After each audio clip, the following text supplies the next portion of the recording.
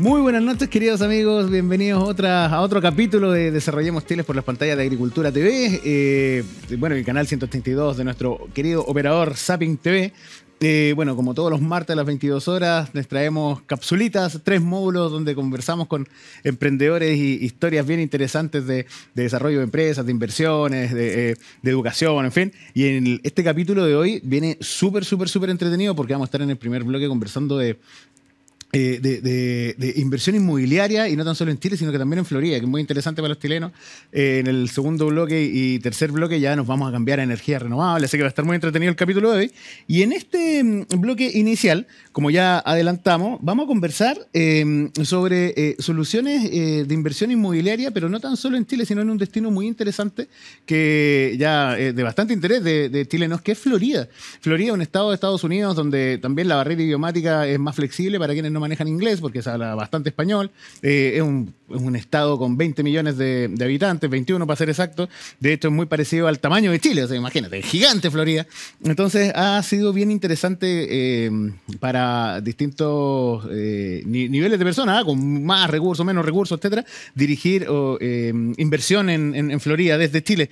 Y para eso, nos vamos a conversar con un invitado, pero de lujo, que eh, es el CEO de Oni. Oni es una, plataforma, una, startup que se dedica a la administración de bienes raíces, como dicen ellos, a la administración inteligente de bienes raíces para administrar en fácil las inversiones.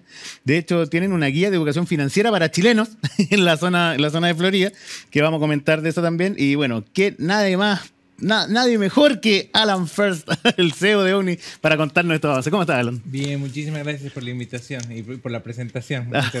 Gracias. a ti por, venir y, contarnos a todos estos temas tan interesantes, porque, claro, la, inversión, eh, mira, ¿para qué? ¿Para qué tapar el sol con un dedo? O sea, en, momentos de inestabilidad política, todas las personas, ya sea en distintos, distintos tamaños de, patrimonio, por ejemplo, empiezan a ver dónde meter sus su luquitas, ya sean muchas o pocas. Y, y Florida se ha, se ha mm, posicionado como un destino bien interesante de inversión y mm, bueno, y cuéntanos un poco, porque entiendo que ONI nace primero en Chile y después se extiende también mm, hacia Florida para ayudar a administrar la inversión inmobiliaria y hacerlo fácil en este camino de búsqueda de, asegurar el patrimonio de, todas las personas. Cuéntanos un poco. así es. Bueno, básicamente nosotros partimos hace 10 años, tanto en la Florida como en Chile, haciendo desarrollo inmobiliario tradicional. Construir departamentos, los compraba personas para arrendar. Eh, y era, es el negocio. Y empezamos a ver eh, que a partir de 2019 había mucho interés de chilenos por invertir en un país que no fuera Chile, que eso antes era, que, que, eso es muy extraño, que era algo que no se daba, que los chilenos les gustaba invertir en Chile. Claro. Si yo tenía lucas extra, compraba un departamento en el centro o en alguna zona periférica de Santiago, un terreno en el sur, pero todo dentro de Chile. Y a partir del 2019 se empieza a dar cuenta la gente en Chile que es bueno diversificar, ¿no? Que eso es, una cosa básica, que es bueno si yo gano en pesos, yo vivo en Chile, tener plata en dólares, en, otros, en otras economías, por si cualquier cosa pasa con el peso, con el país, yo tengo por lo menos algo resguardado contra eso. Perfecto. Y mm, claro, cambió también la condición crediticia. O sea, por ejemplo, las políticas de riesgo cambiaron y estaba más difícil, bueno, junto con inflación, más difícil también postular a, a crédito hipotecario, entonces también eso bajó la venta, dificultó la compra, mejor dicho, dificultó la, propiedad en Chile. Yo soy boliviano, yo, yo, vivo en Chile ya 15 años, el acento no, lo he perdido, pero... Eh, y cuando yo llegué, el dólar estaba a 500. Y a mí me tocó ver el dólar a, a 1100 prácticamente que llegó el año pasado. Claro. Entonces, eh, si yo lo veo desde el punto de vista de dólares, yo todo, perdí la mitad de mi plata. entre 500 y 1000, mi plata se fue de a la mitad. Eh, si, yo tengo algo diversificado, parte de mi plata se verá a la mitad, pero parte va a estar resguardada y más bien va a duplicarse en valor y ahí voy como nivelando. Entonces, la idea un poco es como eh, siempre buscar la disciplina y la diversificación y es un poco lo que queremos hacer con ONI a través de todos los productos que tenemos, ya sea departamentos, fondos de inversión o terrenos para, para inversión. Fantástico. Y el, mira, entonces consideras, como estabas mencionando ahora, que invertir en dólares asegura el patrimonio, sin duda. Y en ese sentido, ¿qué requisitos legales tienen lo, alguien que quiere invertir en Chile? Mira, por ejemplo, porque el, eh, el mundo de las parcelas rurales aquí en Chile ah, tiene un boom, o sea, hay mucha gente invirtiendo en terrenos, pero también en Florida se puede en comprar terrenos quizás no de 5.000 metros cuadrados, pero hay de 2.000 o de 1.500, pero, Mm. pero hay una, una, una oferta diversa y en zonas bonitas, Orlando, cercano a Miami. Exacto. Eh, Lindas zonas. ¿Qué, qué requisitos? Entonces, parte de por qué la Florida es tan interesante es porque ellos son muy, lo que llaman amigables a los negocios, son pro-business. Ellos quieren que la gente venga, quieren que la gente invierta. Entonces, los requisitos que te ponen, las trabas burocráticas, los papeleos son muy simples. Mira. Nosotros en ONI tenemos todo en una plataforma digital, entonces todo se puede hacer desde Chile de manera muy rápida y práctica. Y el único requisito legal que yo tengo que tener es básicamente un pasaporte. Un Perfecto. pasaporte eh, válido. Eh, chileno, eh, colombiano, argentino, de donde sea. Hay ciertos países que tienen requisitos, Ah, claro. como, no sé, Irak, no sé, como que tienen cosas, pero requisitos legales adicionales, pero cualquier pasaporte latinoamericano válido sirve como único requisito y de ahí el trámite es un trámite que nosotros acompañamos de principio a fin y se hace digitalmente. Entonces es muy simple para comprar un terreno, por ejemplo, en Estados Unidos, en Florida. Mira que bien. Entonces, él, pero es lo mismo comprar un terreno o un departamento, una casa, que, porque hay, hay oferta bien variada. hay- Sí, mira, para comprar una casa o un, o un departamento, hay uno, ya está incurriendo en lo que se llama un pasivo, ¿no? Que es algo que podría eventualmente costarme plata. Si yo co- compro un departamento y no lo logro arrendar por algún motivo, eh, tengo que pagar un gasto común, una mantención que tiene que salir de mi bolsillo cada mes. Y para eso se aconseja crear una empresa americana que se llama una LLC, que es algo que nosotros también hacemos, pero sí es un poco más complicado donde se crea una LLC y un, eh, un número de ID que sea como un root. La, la empresa tiene su root y se tiene que hacer contabilidad una vez al año. Claro, con el EIM, que es el- Exacto. este número que viene a ser como el root. Exacto, que es como el root de la empresa. Exacto. No es tampoco tan complicado. Si nosotros como eh, llegamos a los terrenos, nosotros hace dos años, como que partimos básicamente con esta idea, eh, buscando una solución que se acomode eh, de la manera más simple. Entonces yo si compro un terreno, yo no tengo que hacer una LLC, no tengo que hacer contabilidad, es muy simple. Qué bueno, o sea, eh, bueno, eh, como requisito hay que hacerlo para poder administrar bien la prioridad, pero ustedes lo simplifican. Lo para que el simpli- inversionista, lo usted hace por el... claro. Y en el fondo, el único impuesto que hay es el que paga la propiedad con la contribución aquí, que eso da Claro. lo mismo si es una empresa, un- da lo mismo que es el dueño porque lo paga el, el inmueble. Claro. El- mira qué interesante porque finalmente la inversión se simplifica bastante. Muchísimo, O sea, uno sí. elige la propiedad, puede viajar o también no puede viajar, lo puede Sí. hacer a distancia. Nosotros, la mitad de las personas que lo compran eh, nunca han ido a ver el terreno, nunca No lo- sí. Y, y la- de, y de la mitad que sí lo compran, la mayoría va después de que lo ha comprado, va a conocer el terreno que compró, no y nos mandan fotos. y. Qué bien. Mira, ¿y cuánto dinero se puede invertir? Y, y más o menos los precios, porque bueno, hay propiedades, no sé, departamentos de 2 millones, 3 millones de dólares o también, pero hay terrenos también mucho más, más, más baratos. Claro, nosotros eh, ofrecemos terrenos a partir de los 15 millones de pesos aproximadamente, Bien. 15, 18 millones de pesos. ¿Y, y que la superficie de cuánto es?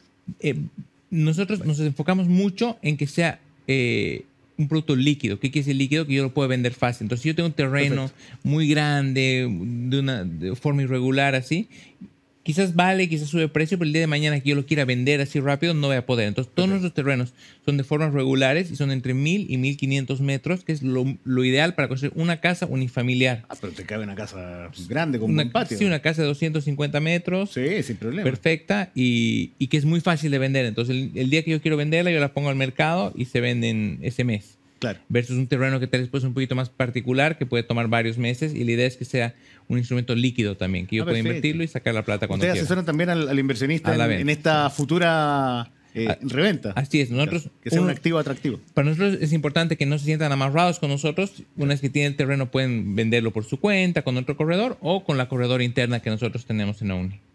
Fantástico.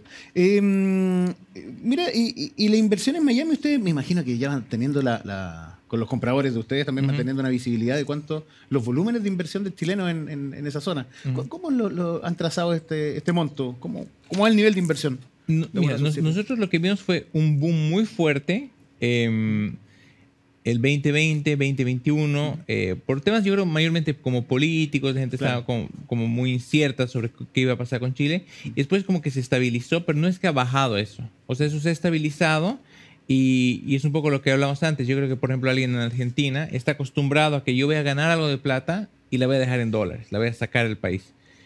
Por supuesto que voy a dejar parte dentro, voy a invertir en, en- en mi país, todo, pero también algo voy a sacar. Y esa mentalidad como que un poco se ha quedado Eh, y en el fondo es buena porque uno siempre, incluso digamos los mismos americanos que viven en la economía más estable del mundo, a veces buscan diversificar en yenes. entonces, em, siempre diversificar es bueno y creo que en Chile un poco ese concepto ya ha entrado como para quedarse.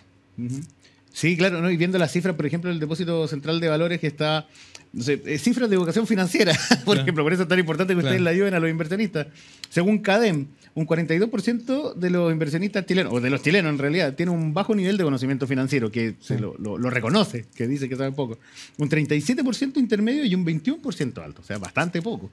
Es bastante. Nosotros en, la página web en OWNY, eh, .cl tenemos una sección que se llama Aprende, que es básicamente uno va y solamente como esta información, respuesta a las dudas, porque muchas de las barreras para invertir son como desconocimientos, miedos, que son entendibles, porque claro, yo es primera vez que estoy invirtiendo afuera, tal vez hay muchas cosas que no sé, entonces nuestra idea es que la gente como que conozca, se entere, resuelva sus dudas y se anime a diversificarse.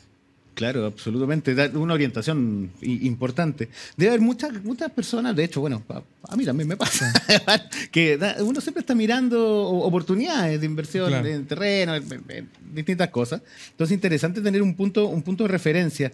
Mira, y viendo acá también otra cifra, por ejemplo, voy ir comentando el contexto.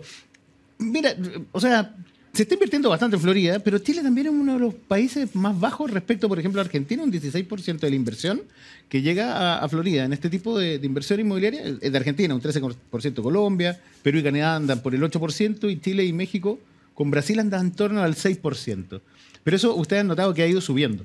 Eso ha ido subiendo mucho. Bueno, hay dos factores ahí, un poco lo que conversamos, que eh, Chile es un país chico en términos de población, ¿no? Argentina es, cinco o seis veces la población de Chile, y Colombia igual es un país mucho más grande en términos de habitantes. Claro. Em, y el tamaño de la economía. Y eh, también que hay una cultura, ¿no? Los argentinos llevan como invirtiendo en Florida 30 años. Mm. En cambio, en Chile es un fenómeno un poco más reciente, ¿no? Eh, entonces también hay como mucho como campo por, o digamos, terreno por como eh, catch up, como dicen los gringos, por, por, por, por, alcanzar, digamos, porque, claro, son países que han estado diversificando y, generando una presencia en esos estados hace muchos años atrás. Mm. Mira, y viendo también, sí, sin duda, y viendo también que quizás ahora está despertando, bueno, por temas políticos, temas de inestabilidad política, pero ahora está pasando eso, ¿eh? pero el, claro que el chileno amplió un poco más la, la, mirada, el radar. Eh, y no es tan caro, fíjate, a mí me parece que, por ejemplo, ya si una parcela eh, o un terreno de unos 1.500 metros está en torno a los 15 millones de pesos, de, entre 1.000, 1.500 metros cuadrados, en, torno a los 15 millones de pesos desde, también es más o menos similar el precio a las parcelas rurales de, que están aquí en Chile también. Sí, con una gran diferencia, que los terrenos que nosotros tenemos son 100% urbanizados, con luz, agua, pasa el autobús escolar, ya tienes vecinos. hay barrios. Hay barrio. Claro, estás a una hora y media de Disney, o sea, eh, versus un terreno aquí que yo personalmente eh, con, eh, con, un amigo compramos un terreno en Chiloé que vale similar a lo que tú dices y está bueno, está muy bonito todo, pero por, ahora solo tiene acceso fluvial, entonces tengo que subir un bote para... Eh, en cambio, estoy en la carretera, estoy, puedo estar en Disney, puedo estar en un Walmart, puedo estar donde sea en 10 minutos.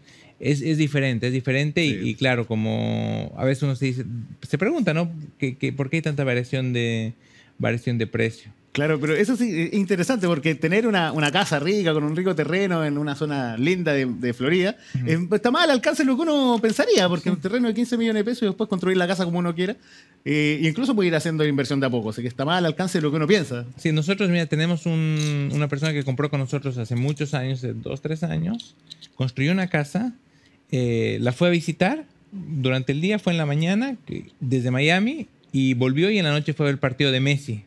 Entonces, estás a una hora y media de, de, poder ver a Messi jugar en Miami. Es, realmente es como, estás muy en el centro de todo, ¿no? No es una cuestión así como que un viaje. Entonces, eh, tanto la conectividad como la ubicación es bastante buena y especialmente considerando el precio que uno está pagando. Sí, sin duda. Qué, interesante. Bueno, dejamos a todos los amigos invitados a, entrar a la página de OWNI, O-W-N-I, como owner, pero OWNI.cl. Sí, O-W-N-Y. Claro, O-W, claro, Y, claro. O-W-N-Y, sí, muy importante. Oye, mira, te quiero hacer un regalo, que es nuestra chapita acá, que es nuestro símbolo del Ah, programa. muchas que nos gracias. recuerda que nuestro compromiso permanente. Bueno, y como este programa sale emitido también en septiembre, con los colores de Chile. Ah, muy bien, muy bien, dos. El- es un símbolo que nos recuerda también en nuestro compromiso con el desarrollo de, y la región. Y mira, y para despedirnos, porque bueno, se pasa volando el tiempo, siempre nos gusta terminar con una pregunta. Eh, si tú tuvieras eh, un botón o tomar una decisión o hacer una iniciativa para desarrollar Chile y la región, ¿qué, qué harías?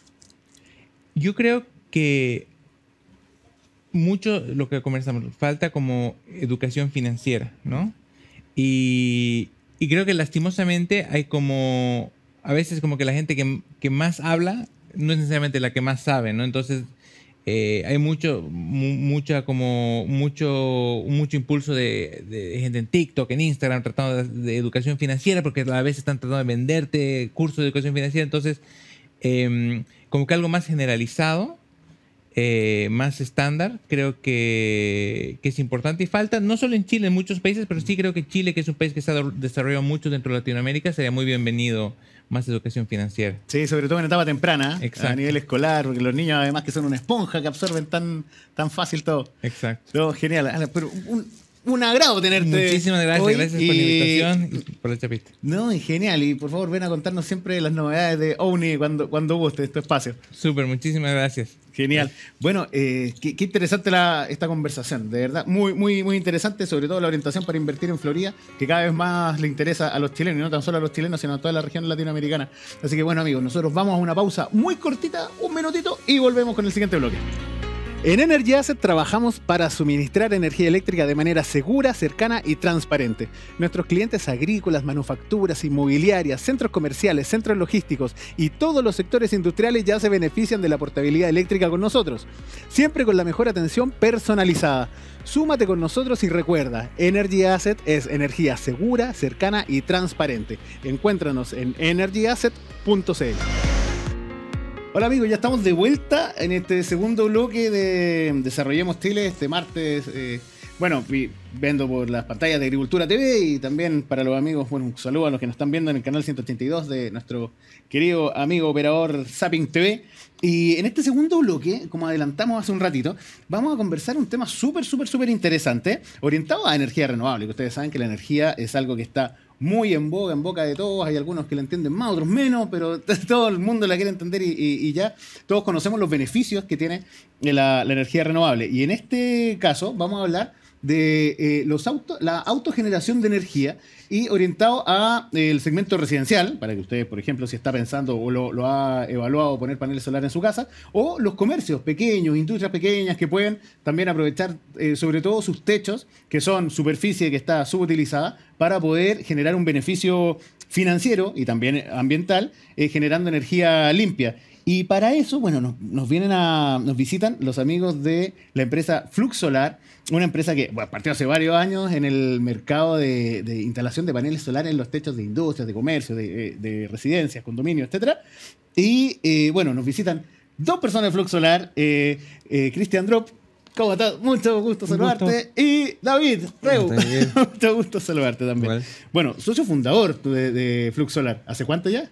Eh, cumplimos hace muy poco dos años, de hecho, sí. Claro, que- empezaron con todo. Sí, vine a Chile para, para quedarme seis meses y ahora son 14 en total, No, dos no años con la empresa, entonces... ¿Y, y tu nacionalidad? ¿Cuál es? Alemán. Alemán. Alemana, y sí. te viniste a, a quedar a Chile. Hacía la práctica en la universidad y Sí. hoy día casado, empresa, todo. Ah, qué bien. Mira, yo conozco varios alemanes que se quedaron en Chile. Sí, parece que es un, un- un- un- una cosa bastante común entre los europeos, sí. Oh, qué bien, qué bien. Bueno, y mira, para entrar en, en materia, el, a- acá siempre nos gusta hablar mucho de energía porque también es un desafío que han tomado los países, el Acuerdo de París, etcétera. Entonces, desde alto nivel hasta el bajo nivel nos pega a todos. Y Sí. empresas como la- las soluciones que tienen ustedes en Flux Solar van directamente al- a generar un beneficio financiero para el hogar y para la, los- la- la industria, Mm. eh, comercios, etcétera. Eh, sobre todo eh, cercano a la, ley net billing, pero eso me gustaría conversarlo después. Eh, el beneficio financiero que ven ustedes, porque hay un, se está hablando de un alce tarifa, ¿cierto? Sí. Pero, pero un alce tarifa en realidad, los precios de energía siempre están fluctuando por muchas variables, pero independiente sea la situación, siempre la, autogeneración genera beneficios financieros. Me gustaría partir contigo, David. Cuéntanos un poco los paneles, como para decirlo en, buen chileno, los paneles solares en el techo. ¿En qué, ¿En qué nos benefician, ya sea en un comercio pequeño, en una casa. O sea, hoy día, bueno, históricamente, claro, vienen obviamente de una generación limpia de, para, para, para, tener energía limpia sin contaminación y ahí siempre me gusta, tú mencionaste, disculpa que da la vuelta larga, mm. hablaste del cambio climático también, que es muy evidente, mm. pero también hay números súper claros que efectivamente afectan a cada uno de nosotros, que es, hoy día en Chile mueren 4.500 personas al año a base de la contaminación que tenemos en las ciudades, que es al final causa del transporte sucio, generación eléctrica sucia. Con enfermedades respiratorias. Sí, exactamente. A causa de contaminación por enfermedad respiratoria prematura, ¿no? Increíble. Eh, es un tema, yo creo que, no hay que dejarlo a un lado cuando hablamos de, dinero también, ¿no? Ahora, además hoy día, efectivamente, la energía solar es la forma más económica y más conveniente para generar electricidad a gran escala, mediana escala y también pequeña escala, que justo entre la casa que tú me preguntas. Y es evidente que hoy día hay diversos sistemas, o sea, que tú compras, o sea, que tú lo financias a largo plazo y el resultado son ahorros mensuales. Y generalmente tu ahorro es mayor a, lo que tú tienes que gastar, digamos, en, en, el financiamiento de tu planta solar. Claro. Entonces tienes tu generación en tu casa, ahorras dinero y además fijas un poco el precio a lo largo, ¿no? Entonces ya no estás expuesto a lo que vemos hoy día, esos alzas muy relevantes que, que, que se enfrenta la persona y también la empresa. Eh, claro, en ese sentido las ventajas, bueno, son medioambientales, como dices tú, que crudo el número, ¿eh? 4.000 personas muertas al año por enfermedad respiratoria, o sea, es bastante impactante. Y bueno, y también esto tiene un beneficio financiero, da, gusto contribuir al medio ambiente ahorrando. Es la mezcla perfecta hoy día, claro, hacer algo bueno para el planeta y además ahorrar dinero. Claro, sin duda. Y en esa línea hay una normativa que, eh, Cristian, sí. Em, hay una normativa que encierra este tipo de soluciones, la, aborda, les da forma, que es la ley net billing. ¿Nos podrías contar un poco en qué consiste la ley net, billing? Por supuesto, la ley de net billing al final lo que hace es que permite que la energía que yo genero en mi casa, pero que no consumo, le inyecte de vuelta al sistema y me la compran entre un 60 y un 70% del costo de la energía que yo estaría comprando eh, si no tuviera los paneles solares. Esto lo que hace al final es que en una casa es difícil cuando tú tienes un panel solar o tienes un sistema, una planta solar, que ocupes siempre toda la energía que está produciendo la planta. Entonces esa energía que sobra se inyecta y genera una bolsa a tu favor en la cuenta de electricidad que después cuando tú consumes energía de la red, por ejemplo en la noche, la vas descontando de ahí. Entonces nosotros tenemos muchos casos donde en el verano, entre, entre noviembre y marzo, que tenemos más horas de radiación solar y menos cielos nublados, entonces la generación se maximiza, tú generas este delta positivo que lo puedes ir ocupando los meses después eh, en la cuenta de la luz cuando ya se empiezan a cortar los días o anularse los días que no generas tanto y que requieres comprar más energía de la red. Qué fantástico. Entonces es una ley que va, bueno, generó la normativa para poder ir midiendo si uno es capaz de generar energía, lo que está inyectando a la red, lo va registrando y también versus lo que uno va retirando a la red, se hace un neteo financiero. o sea, es posible que uno inyecte más de lo que consuma. Claro. Y ahí tienes un saldo a favor. Tienes un saldo a favor y después cuando consumes de la red, se va restando ese saldo hasta que eso llega a cero y empiezas a pagar de vuelta. Fantástico. O sea, bueno, eso va a depender un poco de la superficie que esté disponible para ver la De la, superficie y también del momento del año, porque la generación solar tiene una curva donde cuando los días son más largos y menos nublados, genero más que es el verano, primavera, verano, principios del otoño, y después fines del otoño, invierno, principios de la primavera, como ahora septiembre, que ha estado más nublado lloviendo, no generó tanto. Entonces, cuando maximizo la generación, generación inyecto de vuelta o eh, y tengo el saldo positivo para que cuando eh, está más nublado y tenga que consumir de la red, lo descuento de ahí. Perfecto, entonces, el balance del net billing es anual. O sea, va, o, va mes a mes y se va generando un acumulado. es mes a mes y se va generando el acumulado. Fantástico. Mira qué, interesante. Y el... un, un, tema solamente porque cuando uno pregunta así suena todo muy, muy difícil, pero yo creo muy importante dejar claro para usuario final, eh, no tiene que preocuparse de nada. O sea, hoy día eh, en, tu, en tu cuenta que te llega mensualmente al final, después abajo hay un pequeño cuadro donde dice descuento por eh, a causa de net billing o algo así se llama. y ahí está desglosado cuánto te descontaron por tus inyecciones que tienes a la red y todo eso. Entonces, pero tú como persona no, no tienes que hacer mucho. La empresa, como en este caso Fluxolab, por ejemplo, lo- nosotros hacemos todo el proceso para ti y a ti te llega el resultado y, y nada más. O sea, no tienes que preocu- preocuparte de- del balance mensual, digamos, de tu energía solar. Claro, y, y en, esa, en ese sentido, por ejemplo, eh, cualquier persona que nos esté viendo los llama a ustedes, Flux Solar, los contacta a través de la Claro, página, los sí. números, en fin, eh, solicita un ejecutivo y ustedes le ayudan a evaluar el potencial Tal cual. que tenga su, su, Sea- su, su techo, su. Dentro de nuestra misión como empresa, evidentemente, permitir el acceso para, para todos a la energía solar. Y eso incluye no simplemente esperar que la gente se informe, sino ayudar. Entonces, si tú tienes un interés en el tema del solar, entonces llámanos, escríbenos. Y la idea es que las empresas, no solamente nosotros, sino en general la industria, tome responsabilidad, informa a la persona y lo lleva eh, pasando por los distintos pasos sin, sin que él tenga que saber mucho de, de la cosa. O sea, la gracia aquí es que lo hacemos simple y para que el acceso sea rápido para la gente y, y así usar esos beneficios. Sí, y eso pasa muchas veces porque, claro, la, la, mm, dentro de las conversaciones que uno tiene de energía, el común del conocimiento de, de todas las personas es, tengo un techo, un panel solar, se debe poder, pero hay, que, Sí. hay, hay varias cosas más que evaluar, el tipo de instalación, las características. Sí, hay, hay- hay siempre ciertas barreras eh, típicos psicológicos que se generan porque no sé muy bien cómo funciona, entonces Claro. tengo miedo de tomar una mala decisión. Y todo eso lo resuelven ustedes. Esa es la idea. Llegan claro, los expertos de ustedes y, y ayudan a, a que el comerciante, el empresario, la- la- la- Claro. los condominios, por ejemplo, también puedan tener Sí. una... Sí, también una porque generalmente la gente se imagina que, que tú intervienes mucho en, en- en su electricidad en sí, pero realmente un sistema solar es algo absolutamente adicional. Entonces, eh, no, no- no tiene un efecto negativo a- a- hacia cuando tú eres una empresa, no, no afecta a tu red interna ni nada, y, y los procesos son netamente físicos. O sea, tu sistema solar al final empuja a la distribuidora hacia afuera, simplemente, porque tiene un poco más de fuerza, hablando así. Y, y es, un, es un balance que se hace completo. Tú realmente no haces nada. Tú lo único que vas a hacer tomas tu celular en el día y vas a ver cuánto generaste, que es lo típico que tú haces después. No estás feliz Claro. porque genera con tus amigos revisando cuánta energía solar estás generando, digamos. Claro. Sí, sin duda. Y, y en ese sentido también debe haber alguna valorización también de la, de la instalación. Por ejemplo, Claro. ¿cómo, ¿cómo ven ustedes, por ejemplo, el valor de una casa con paneles solares y otra sin paneles solares? Hay una cierta Eso- valorización. Sí, al final como esto hay una inversión, pero la inversión al final te genera un ahorro y un ahorro en el mediano o largo plazo, la casa se valoriza. Entonces, Claro. tenerlo instalado cuando vas a vender la casa versus tener que instalarlo cuando la compra, te genera un plus positivo para el que está comprando la casa. Entonces, Claro. estoy comprando algo que ya tiene la planta solar, que ya pasó, donde ya se pagó al final el- la inversión y yo estoy comprando solo el ahorro. Y además lo meto en el, en el crédito hipotecario, que es el financiamiento más barato que tenemos, entonces el match perfecto, porque tengo el ahorro instalado, o sea, ya tengo la planta instalada, ya está generando el ahorro y además lo meto, lo pago ese delta con un hipotecario que es mucho más barato que pagarlo con un crédito consumo, financiarlo de alguna otra manera. Claro, mira qué interesante. Entonces, súper interesante cuando ya viene la casa con el- la planta solar instalada. Claro, ustedes también asesoran a, a sus clientes y todas las personas interesadas en esto, en- Sí. también en materia de financiamiento. Sí, nosotros tenemos distintas fuentes de financiamiento. Tenemos financiamiento con banco, con cooperativa. eh, estamos ahí trabajando en una fuente de financiamiento propio. Entonces tenemos soluciones para los que quieran construir las plantas con nosotros, eh, evaluar el tipo de financiamiento que más le conviene, Ah, dependiendo de lo que quiera realizar. Porque se genera, se genera un ahorro bien interesante. O sea, por ejemplo, ya, para hablar en números cerrados, estabas pagando 100, instalas la planta, vas a pagar 50. Por ejemplo, puede ser menos, quizás un poco más, 50. Esos 50 de ahorro pueden ser destinados a ir pagando mes a mes amortizando la, inversión de la planta. Y en general va a ser un poco menos, de, o sea, si estás pagando, si tu ahorro es 50, con 40 puedes financiar la planta. Entonces igual generas otro ahorro Y te quedas con un se 10 de para- ahorro. pagas el activo entre 5 o 8 años, dependiendo si tiene baterías o no y el tamaño de la planta, y te quedas con el ahorro. Entonces es súper interesante en la medida que tengas una fuente de financiamiento atractiva también para poder pagarlo.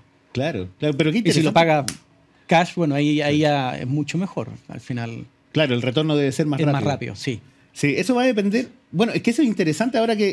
eh, bueno, es que lo, lo hemos dicho en este programa que todo el desafío ambiental de sacar las centrales a carbón, cosa que hay, hay zonas de sacrificio y las centrales a carbón contaminan, a veces que quizás puede ser un poco apresurado porque tenemos un problema ahora con energía en la noche que está un poco más cara. En el día la energía está más barata porque hay hartas plantas solares que se han instalado en el país, pero en la noche están saliendo fuentes de generación 24 horas porque todavía no hay mucho ingreso de almacenamiento Claro. de, de baterías. y las centrales de carbón están saliendo, algunas centrales de eh, hi- hidro no, no estaban siendo Mm. utilizadas para generar, para, para priorizar esa agua para el consumo humano. Entonces, claro, si uno tiene, por ejemplo, eh, co- consume energía en, el, en el horario noche. Y si, por ejemplo, se sacan los, estos frenos financieros al, al precio, claro, y se dispara un poquito el precio en la noche, uno con estas plantas solares generando en el día, puedes amortizar ese, esa Sí. subida de precio en la noche y Se pueden hacer dos cosas, porque tres cosas. La primera es que amortizas el precio con la generación que tienes en el día. En segundo lugar, si tienes una batería, tú puedes almacenar parte de la energía que te sobra en vez de inyectarla al sistema, la almacenas y tú la ocupas en esos momentos. Y además hay sistemas de gestión inteligente, que Ampere es uno de los sistemas que nosotros tenemos, que es parte del ecosistema COPEC, que lo que hace es que te ayuda a tener una gestión inteligente del consumo de la energía de la batería. Entonces, la batería se carga con luz solar o en los momentos donde la energía es más barata, dependiendo de los parámetros que tú fijes, y después ocupa la energía almacenada en la batería en los momentos donde es más cara. Entonces, teniendo estas tres cosas, los paneles solares, batería y un sistema de gestión inteligente de, tu, de, de- de la energía, puedes maximizar el ahorro y minimizar el consumo de la energía de la red o consumirlo cuando es más barata.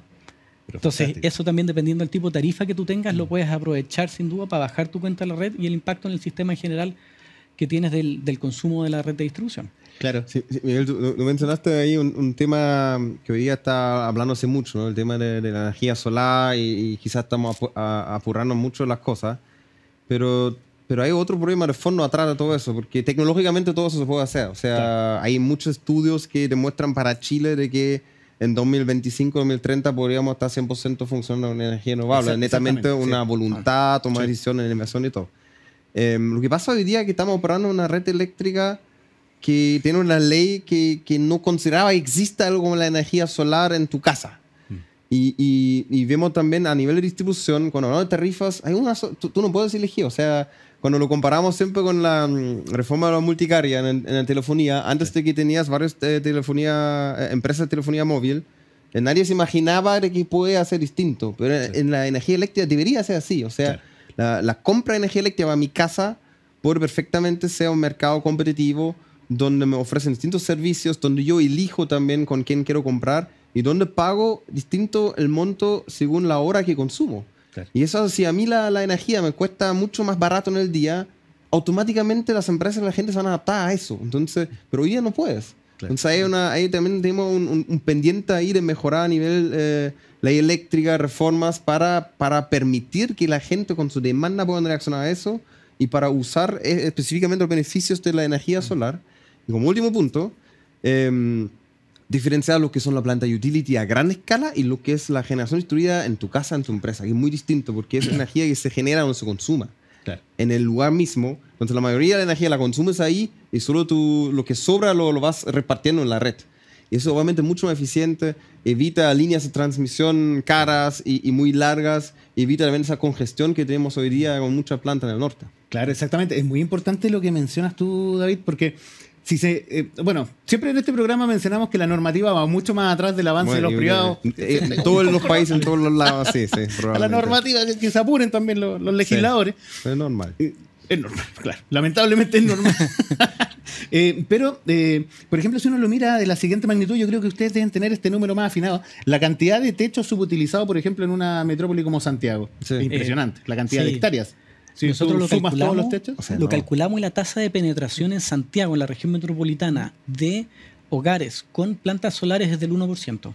Mm. Claro, o sea, 1%. Y cercano al 1%. Era o sea, solamente en estos momentos los techos que se podrían utilizar hay un 1% utilizado. Exactamente. Imagínate. Entonces la, auto, la autogeneración es algo que sin duda va a empezar a entrar con fuerza y en ejemplos como, como Alemania, donde hoy día ya están poniendo paneles solares en los balcones de los edificios, porque todo se está moviendo hacia la generación, a la autogeneración del mismo hogar. Claro. Eh, y nosotros tenemos todo el mundo por recorrer en, en ese sentido. Claro. Sí, sí, lo que pasa efectivamente en Chile, nosotros como salimos muchas veces también en prensa internacional como los, los campeones de la energía solar, ¿no? el Sauri varias de, de energía solar y todo. Pero donde estamos muy al debe es justamente esa generación de menor escala, que es uno de los principales beneficios de la energía solar. Es generar en la casa, en la empresa y todo. Y también hay un, como nosotros tenemos eh, el Salar de Atacama, donde está la, la mayor zona a nivel mundial, todos hablan de eso, pero mencionaste a Alemania. Alemania era mucho tiempo la- la el mayor producente de energía solar. Tiene la radiación de Chiloé. Entonces, Claro, Chile es una maravilla, Montt, sí, donde sea claro. que estés, eh, es una maravilla a nivel de radiación y funciona muy bien Sí. y permite esos beneficios en todos lados. O sea, Claro, y un detalle muy importante porque se habla también de la, la falta de líneas de transmisión grandes Sí. para traer la energía del norte a las ciudades grandes, por ejemplo, Concepción, Santiago, Valparaíso, etcétera. Pero se puede generar en los mismos techos Es también. que lo que, lo que tratamos donde de hacer, eh, toda esa lógica de generar aquí y va por allá, consumir aquí, estás tratando de, de tomar una tecnología de última o de punta, digamos, y meterla en una ley, un- en una operación de algo Claro. que viene de los años 60, digamos. Y ahí quizás un solo, solo hay Sí. un, un- comentario para complementar, porque en general la autogeneración uno la ve como la del, del- del mismo hogar, de una persona. Pero esto se puede lograr generando comunidades energéticas, donde un condominio genere su energía, la almacene, después la distribuya y después cuando eso se acabe, entra a comprarla a la red. Claro. Incluso así, si te configuras, si el condominio es lo suficientemente grande, puede ser un cliente libre y elegir a quién le compra. Claro. Entonces, en la medida que nosotros, nosotros estamos desarrollando esa tecnología con Amper, que es la empresa eh, hermana ahí del grupo Copec, que está en Claro. España, para poder hacer esa gestión de comunidades energéticas donde todos generan, eso se almacena, son un cliente libre y eligen a quién le compran.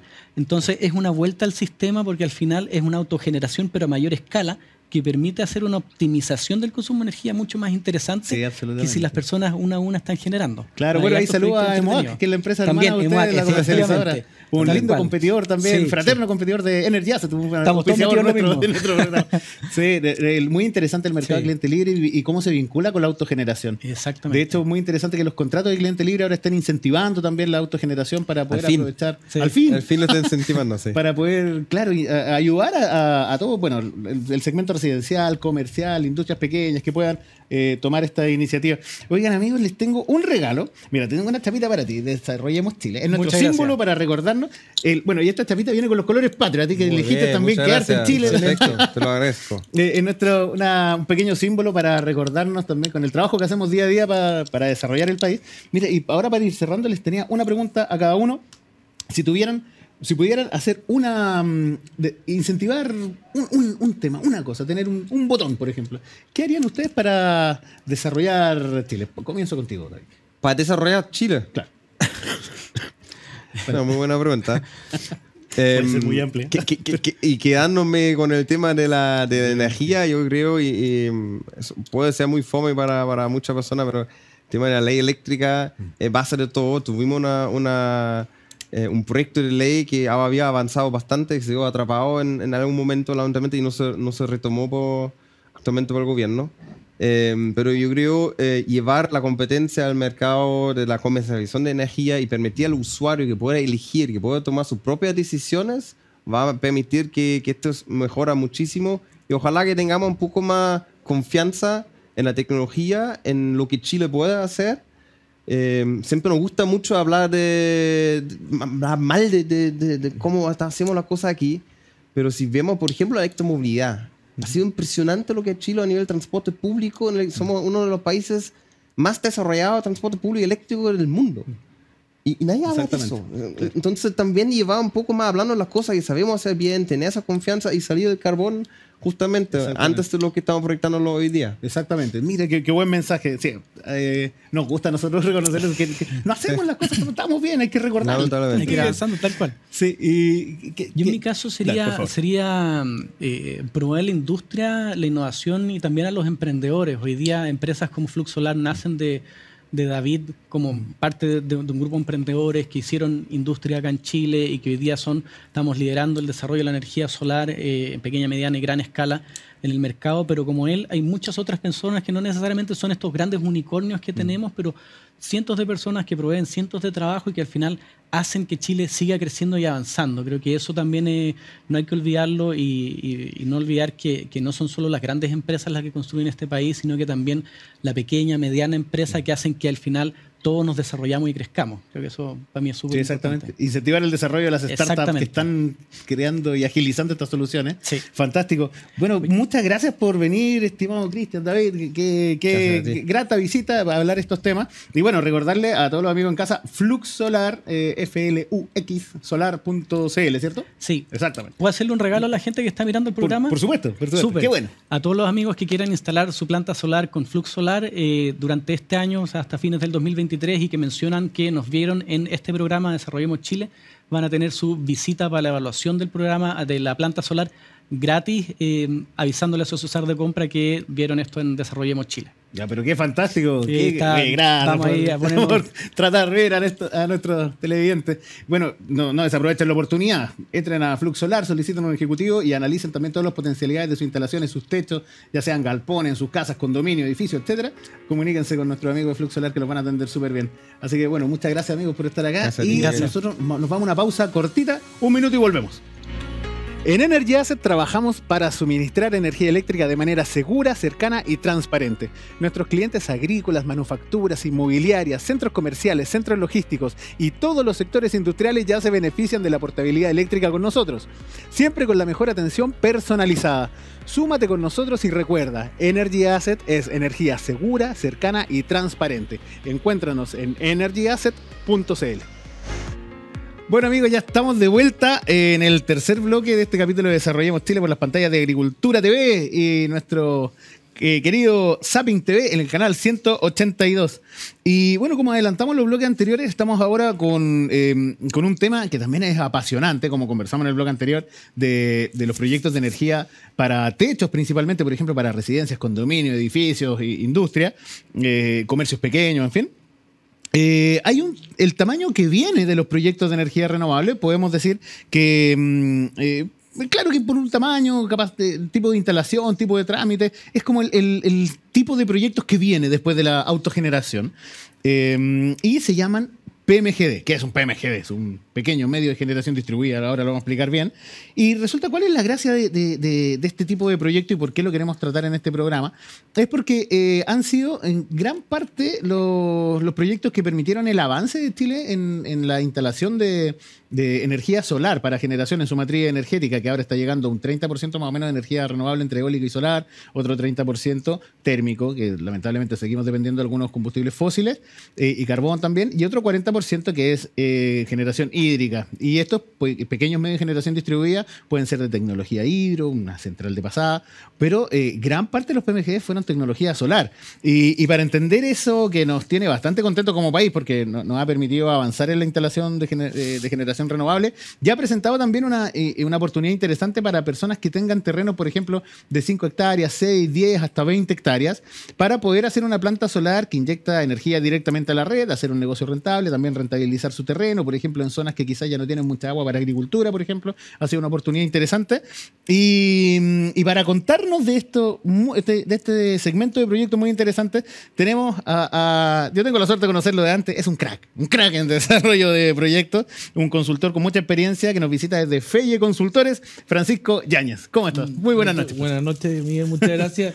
Gracias por tus palabras. Así que contento de estar aquí contigo hoy día y poder conversar en este rato de lo que son los proyectos de energía, eh, un poco bueno enfocado en lo que tú estás planteando, en los PMGD, que son a pequeña escala, pero son bien interesantes lo- los proyectos. Claro, son proyectos que están eh, eh, causan bastante interés. De hecho, me imagino que tú en tu día a día te topas con mucha gente que quizás tuvo un terreno destinado a, a- trabajo agrícola, por ejemplo, y que ahora en realidad, bueno, la agricultura está, está pasando momentos complicados, entonces quizás ese terreno lo pueden ocupar para generación solar.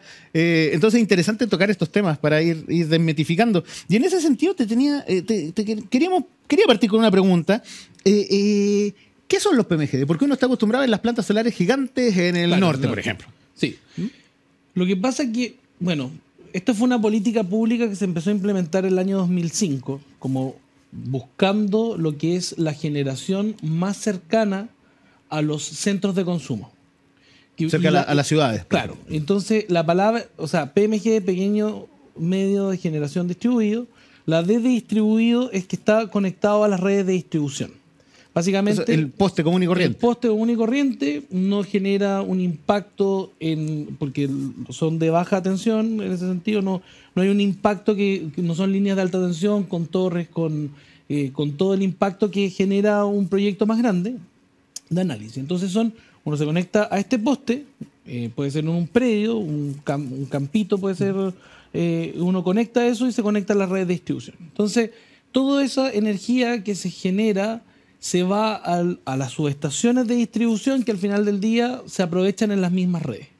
Entonces, es energía, por ejemplo, en este caso, el- la solar se empezó a implementar a partir del 2014, 2000, cuando ya lo- los paneles solares fueron a la baja en el precio, era rentable hacer estos proyectos y obviamente desde el 2015 en adelante empezaron el desarrollo de estos proyectos, la construcción y hoy en día eh, hay más de o sea, su- 300, 350 proyectos que deberían construirse de aquí, desde este año 2023 hasta el 2026, deberíamos ya tener eh, 300 proyectos más en varias zonas distribuidas. eh, este Claro, caso. claro. Eso, bueno, eh, hay un- una cifra que está dando vuelta que se tienen que construir ahora proyectos que ya están aprobados, algo así, por co- como 4.500 megas, más o menos, Claro. que esos son plantas grandes, pero también hay muchos entre Hay medio. muchos PMG. Lo que pasa es que hubo un cambio reglamentario en su minuto, un tema más legal, pero este cambio fue eh, a partir del 2020 en adelante, bueno, salió hace poquito, y tenían que eh, una cantidad de proyectos llegar a una fecha para poder, eh, en este caso, eh, optar a un, un tipo de, tarifa que lo hacía bien, obviamente más rentable, y llegó todo eso hasta el que era el 8 de octubre del año pasado. Entonces tenían que declararse en construcción ante la Comisión Nacional de Energía, obteniendo todos los permisos necesarios para ello. Entonces, más o menos, hay una planificación y estos deberían empezar a construirse ahora, en- dentro de este tiempo, muchos de ellos tienen que haber una serie de variables para que se empiecen a construir, como reforzar las redes, que es la mejora del- de la red de distribución, La mejora de los cables, de los postes. Claro, los Literal- cables. Y va mejorando al final del día también, lo, que son un- es un beneficio para la comunidad porque te va generando también eh, O sea, tener redes más robustas también. y mejor tensión, por Claro. ejemplo, y, y muchos de estos proyectos se hacen en zonas rurales. Entonces también eh, hay una mejora, sobre todo por la calidad de servicio para la gente eh, que está hoy. eh, bueno, hay estadísticas de la interrupción de servicio, que en las zonas rurales es mucho mayor, pero ya al tener un, un medio de generación, que es una planta generadora que está inyectando energía, la red debe estar siempre operativa. Entonces también va mejorando la calidad de servicio y la calidad de vida de las personas que están cercanos a, eso, a esos proyectos. Claro, sin, sin duda. También es, un- es interesante mencionar, por ejemplo, si, si los proyectos que se tienen que construir ahora, solares, son alrededor de 450, o sea, Sí. bueno, 4.500 megas. Eso, 4.500 megas, considerando que los tamaños de inversión andan más o menos por 800 mil dólares un megawatt solar, ¿cierto? Y para contarle a la gente de la casa, o sea, un megawatt solar son dos hectáreas más o menos llenas de paneles. Para ir entendiendo un poco la- la- las magnitudes, o sea, si dos hectáreas de paneles son un mega, 4.500 megas, una cantidad de terreno impresionante. O sea, se ha analizado ba- bastante, bastante terreno. Sí, Y, y eso en inversión son vendrían a ser más o menos como cer- cercano, considerando que algunos tienen baterías, como 4.500 millones de dólares el volumen de la inversión. Sí, y de hecho también es bien interesante porque ocurre que en la que obviamente hay una fase, estos proyectos contienen tres fases, una fase de desarrollo, que obtener todos los permisos necesarios, que después vamos a conversar bien de ese tema, porque el tema de permiso es un, un tema importante a mejorar. Está la construcción del proyecto en sí, que demora aproximadamente seis meses. Y después viene la fase de operación. Y la fase de operación es por un periodo de entre 30, desde 25 hasta 40 años aproximadamente, dependiendo más o menos de la vida útil del proyecto. Eh, y ahí muchas veces lo que hacen las empresas es empezar a capacitar en las zonas rurales a mano de obra local, en ese sentido, eh, gente que la, la capacitan de tal forma que puedan eh, operar los proyectos. O sea, operar en el sentido de vayan, analicen lo que está ocurriendo, si hay alguna falla, tengan los medios eh, tecnológicos para poder solucionarlo. También hay varias empresas pequeñitas de limpieza de paneles que están apostando a esto. Entonces, este es un mercado que igual lo, lo- lo bueno de esto es que va cada vez más permitiendo la generación de nuevos empleos, eh, nuevas empresas que se vayan formando. Entonces, eh, la apertura de los PMGE generó un- muchos nuevos, por ejemplo, empresas de desarrollo de proyectos, empresas de construcciones locales, Claro, varios nichos de negocio Sí, de subcontratistas, Claro. de empresas operadoras. Entonces, ha sido súper bueno porque en general nunca ha habido, a- aquí no hay subsidios estatales eh, en esto. Claro. en- qué, qué importante lo que dice, por ejemplo, a diferencia de España, Colombia, por ejemplo, otros Claro. países que, que tienen subsidios estatales para incentivar la implementación de estas Claro. tecnologías. Chile nunca, solamente el, No, o sea. el, el privado el que no, se, se tiró la mochila al hombro. Claro, y hay un tema de remuneración de una tarifa, en este caso, que, eh, que obviamente está calculada base a lo que cada seis meses por la Comisión Nacional de Energía. eh, son distintos mecanismos que se van eh, explorando, que- pero al final del día nun- nunca ha existido un subsidio estatal en esto. Entonces, al final del día, eh, todo esto son fondos de inversión que van comprando los proyectos, van viendo los riesgos, los análisis de esto, las inversiones que hacen. Se hacen una inversión muy grande también en reforzamiento de las redes, redes que eran bien precarias, que eran de hace muchos años atrás, pero ahora, claro, ya no es tan solo para distribuir energía, sino también es para poder inyectar esta energía al sistema a través de estas subestaciones de distribución.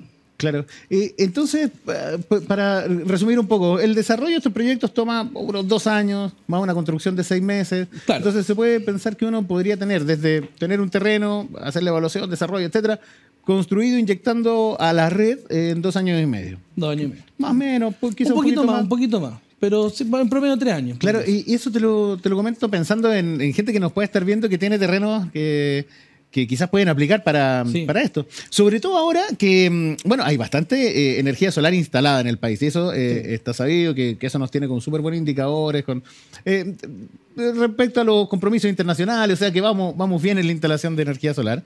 Pero no olvidamos las baterías. Entonces, ¿cómo nos llevamos esa energía para la noche? Los nuevos proyectos vienen con, con batería para poder aprovechar estas, redes que quedan un poquito más desocupadas también en la noche.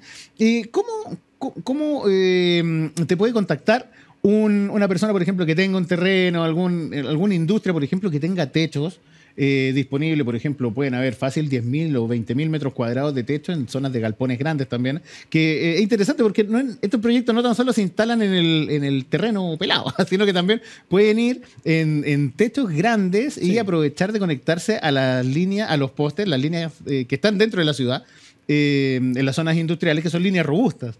Entonces, podrían También. recibir esa energía también. Sí. ¿Mm? ¿Cómo, cómo lo hace alguien para contactarte a ti para eh, eh, evaluar su, su capacidad de, de proyectos? O sea, a ver, eh, mi mail desarrollo arroba feye.cl. Perfecto, desarrollo arroba feye.cl. Importante la página web, eh, feye.cl. Sí, Para Feye, aclarar, esa es. feye- feye.cl.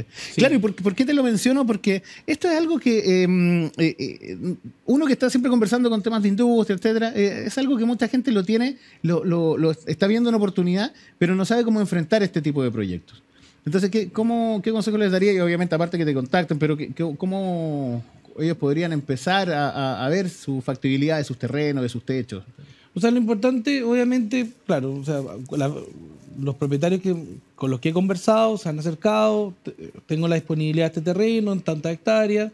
Uno, obviamente, hace un análisis de- del terreno en el punto de vista legal, el estudio de títulos, que, que esté todo ajustado a derechos, básicamente que no conlleve, por ejemplo, que no exista hipoteca o algún, algún tipo de gravamen que afecte a la propiedad, porque eso también podría afectar al proyecto. También... eh, ese consejo como buen abogado, se me había Sí, olvidado comentar sí. que eres abogado, claro. Sí. El consejo claro. legal, Claro, punto parto uno. Parto uno. Y el, y el otro tema importante es el análisis de las redes. Porque uno tiene que ver el análisis que las redes, básicamente hay varias subestaciones que están copadísimas ya, que no hay espacio. Entonces también uno es sincero, uno tiene que hacer el análisis primero y decirle, esta subestación ya está colapsada, por ende no habría una opción de proyecto aquí. Entonces uno empieza a hacer. Y al encontrar espacio en la subestación, ahí uno empezaría, independientemente que sí tenga batería, que ese es un tema que igual tienen que empezar a unificarse los criterios respecto a las distintas distribuidoras de cómo enfrentar las baterías, eh, de cómo hacer los estudios eléctricos para las baterías mismas y cómo es la mezcla solar más batería, sobre todo, porque también esto está un poco, eh, la regulación va en vías de, como de incorporar las baterías. Bueno, hay una licitación por los proyectos de almacenamiento en el norte, que debería salir pronto esto, eh, pero son a gran escala.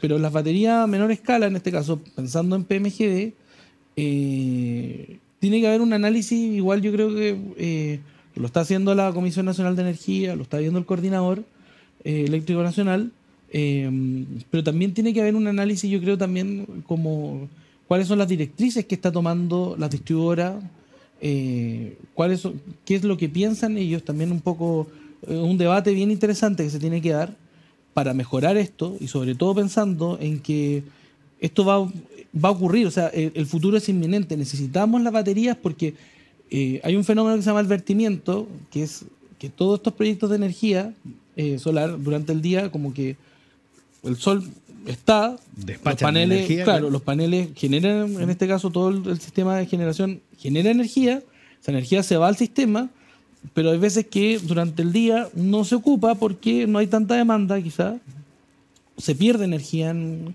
y eso al, al final del día hay que aprovechar y almacenarlo. Y se almacenan a través de baterías. Y, el, y en las baterías cada vez, como dije anteriormente, los paneles por muchos años estuvieron carísimos, a partir de ya el 2013-2014 empezó a bajar. Bajaron, Mm, o sea, bajaron, sí, claro, considerablemente. Que a se un fueron- 20% de lo que costaron alguna vez, por ejemplo, me atrevería a decir. Claro, y, en- eh, y en las baterías va lo mismo, o sea, a más años debería ir bajando. Entonces, claro, ahí tenemos un tema bien interesante para poder almacenar esta energía e inyectarla en la noche. Entonces, son ener- energía limpia, básicamente, que pasa y se queda en, esta, en este centro de batería y en la noche se inyectaría, obviamente, cuando hay mayor demanda Claro. eh, por parte de los usuarios. Sí. Oye, bueno, suena paradojal que en un país que tiene tanto litio estemos como al debe en las baterías en almacenamiento Sí. eléctrico. ¿Cierto? Sí. Suena un poco Sí. paradojal. Que gane poder tener marcas nacionales ya con, con baterías. Pese a que, bueno, hay otras, otros países que tienen también unas ventajas competitivas, como matrices de producción ya mucho más desarrolladas, que ya están desarrollando baterías hace rato. ¿Está bajando el precio? ¿Cómo lo ves tú que, que- que el precio de las baterías va a llegar a ser? O sea, yo creo que aquí un año más va a ser totalmente competitivo para, para la industria. En general va a ser como un complemento importante. eh, va a la baja, no me atrevo a dar un precio hoy en día, porque Pero son va, también, claro. es que depende también de la cantidad de proyectos, eh, depende mucho también de muchas variables que al final del día, quien compra, muchas veces, pasa que aquí hay varios fondos de inversión y empresas de generación de energía. Entonces, claro, si tienen una cantidad enorme de proyectos, hay descuentos por volumen, es como... sí. Claro, exactamente, sí. Sí, sí. Oye, Francisco, muchas gracias por traernos todos estos temas. Bueno, y te, tenemos un, un regalito. Ah, que como muchas estamos en gracias. 18, bueno, nuestra chapita del programa Ah, linda. Chile. Muchas Esa con los colores patrios, porque este Sí. capítulo sale en septiembre, sale Sí, mañana. Sale, bueno, a la- como estamos todos los martes a, la- a las Muchas 10 de la noche. Muchas Oye, y, mm, el, pero mira, para cerrar, siempre hacemos una pregunta. Eh, ¿qué, qué es lo que tú harías si tuvieras un superpoder, una varita mágica, un botón, una cosa? ¿Qué sería lo que tú elegirías para incentivar el desarrollo de Chile? Es una súper buena pregunta y me encantaría tener ese superpoder. Yo creo que eh, el gran tema que estamos al debe es el tema de los permisos. Yo creo que...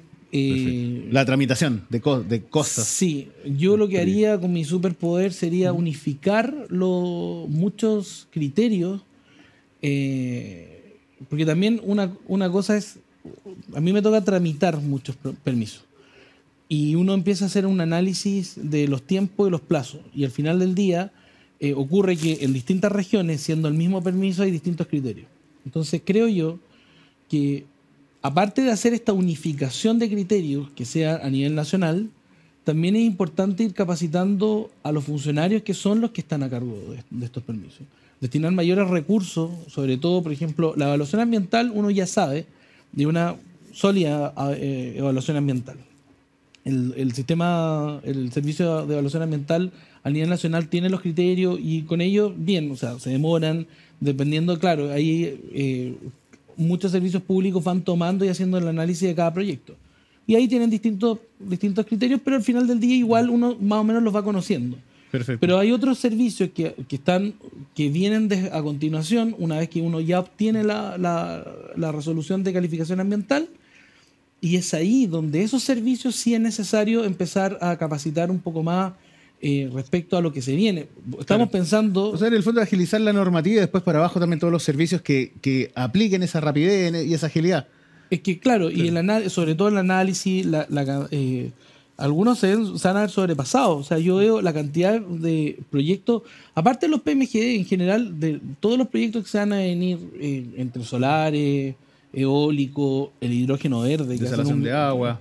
La desalación de agua. O sea, No, buenísimo, eh, ¿no? Nos vamos con ese tremendo mensaje porque, el, el- claro, como dices tú, se viene una cantidad de proyectos enormes y hay que ponerle agilidad a la tramitación. Entonces, claro, y yo siento yo es capacitar uno eh, y también unificar ciertos criterios para No, que perfecto. para generar una mayor certeza jurídica, la que ya existe en Chile y que es buena, pero se debe mejorar un- más, creo yo. Y yo creo que ese es el gran eh, pendiente que tenemos para mejorar. Qué bueno, ¿no? Qué buen mensaje, Francisco. Nos quedamos con ese mensaje, porque claro, hay que agilizar también la normativa, porque el privado quiere avanzar. Un tema muy interesante que ahí lo vamos a ver en, otro, en otra oportunidad, es también cómo estos proyectos, poder acceder a fondos de inversiones que están buscando estos proyectos avanzados, que eso también es un, un temazo, que da para, también para otro bloque. Bueno, y este tiempo ya se nos fue, así que, bueno, Francisco, muchas, Muchas gracias, gracias- por visitarnos. gracias Súper entretenida y muy interesante la conversación, así que te agradezco mucho haber venido.